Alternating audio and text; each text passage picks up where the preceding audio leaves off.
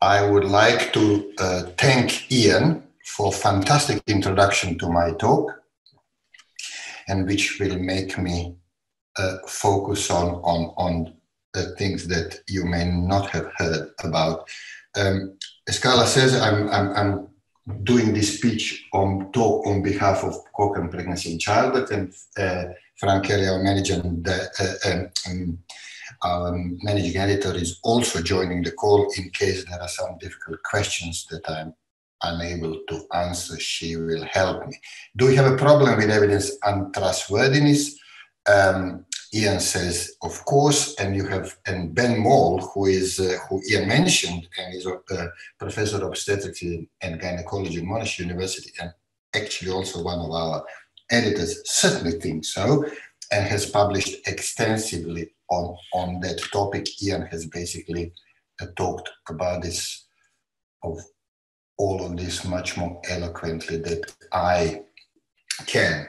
Now, as far as uh, Cochrane is concerned, the question is can we rely on scientific journals to sort out this mess? And I would put it to, to you that we cannot.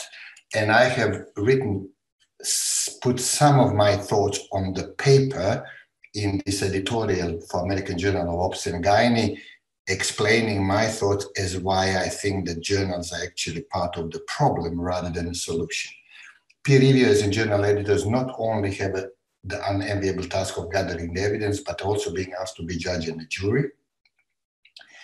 They have uh, inadequate tools to detect scientific fraud, and that actually goes also for uh, Cochrane reviewers.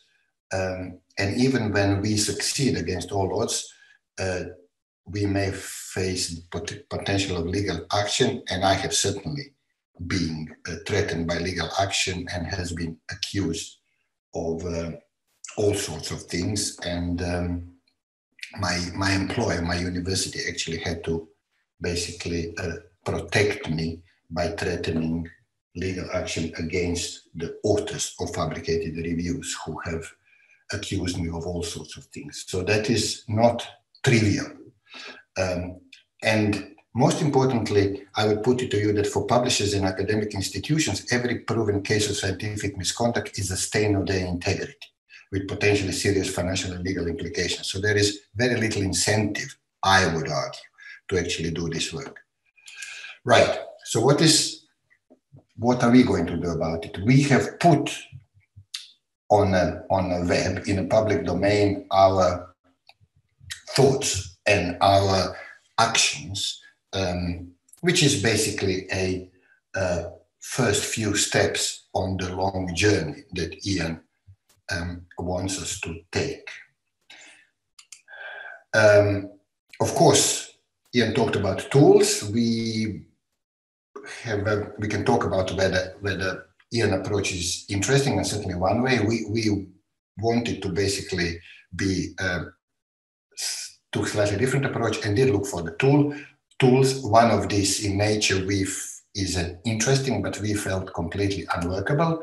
So yes, we came up with um, our own a tool that you can actually that is summarized here and you can read about it on on our web page it essentially has four key themes research governance based on characteristic feasibility results none of these are going to be a surprise to you however um, it is important uh, at this juncture for me to stress that our current focus is not on a tool because these are going uh, these are going to change and possibly even disappear if Ian has his way.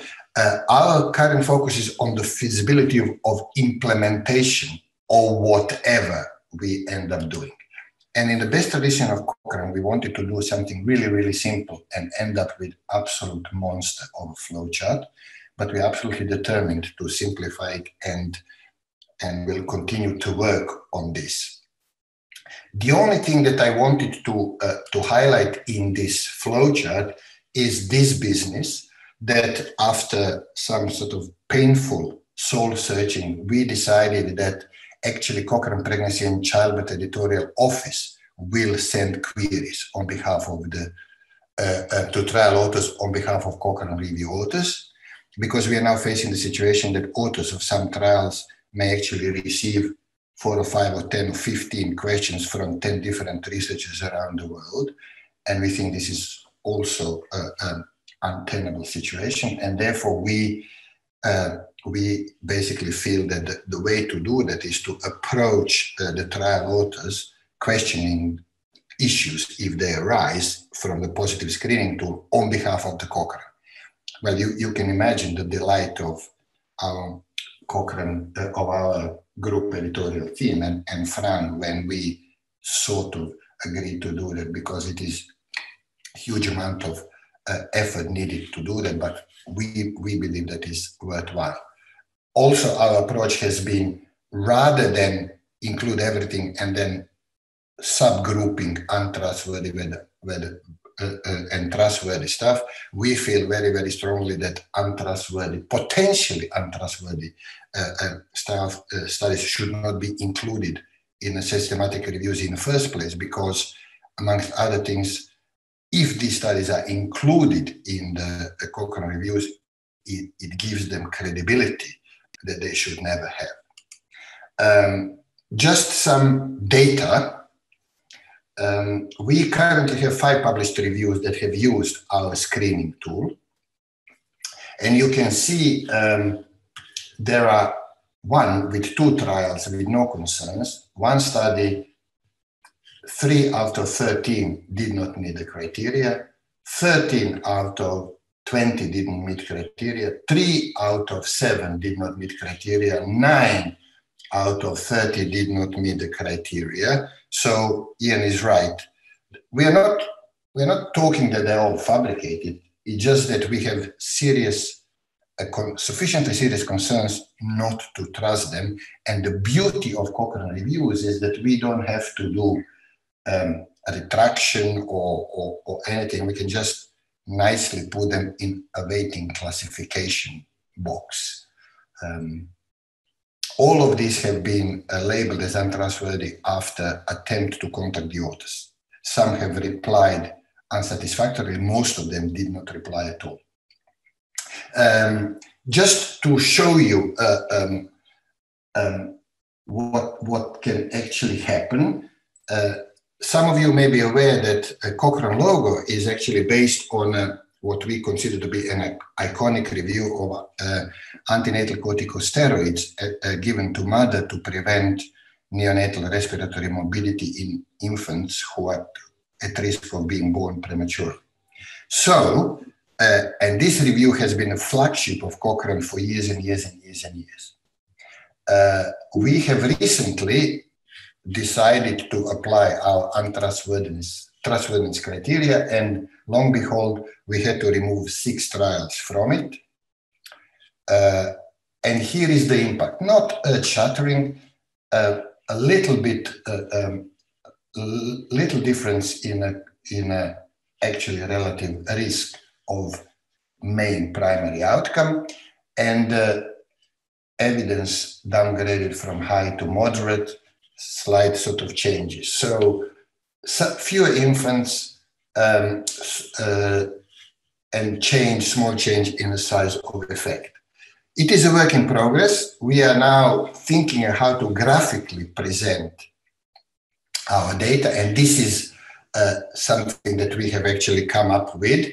This is this. Um, essentially, we, we are sort of mimicking what's happening with the risk of bias tool, uh, thinking about whether we can actually in this box add, uh, add some text uh, toying with this. This has not uh, yet been published, but hopefully it will be soon in one of our reviews.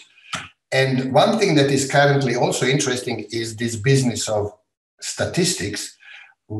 And we are now toying with, a, with the idea of recalculating p-values when they exist. And this is just an example of when you actually look at the p-values as published, and then you try to recalculate them, you get completely different results. And um, this is, of course, time consuming, but also potentially a one red flags. The question is how many red flags we can cope with. So we currently have uh, 25 reviews in preparation that will be using our tool. And as you can imagine, there are tons of un- unanswered questions. Uh, the, the ones that from Cochrane perspective we are interested in, what are the review authors' views on feasibility and workload that these checklists are going to um, uh, create? And Ian has basically touched on that and his solution. Um, what will be the response actions from excluded authors? That will be interesting. And of course, there are tons of unknown unknowns. Thank you very much.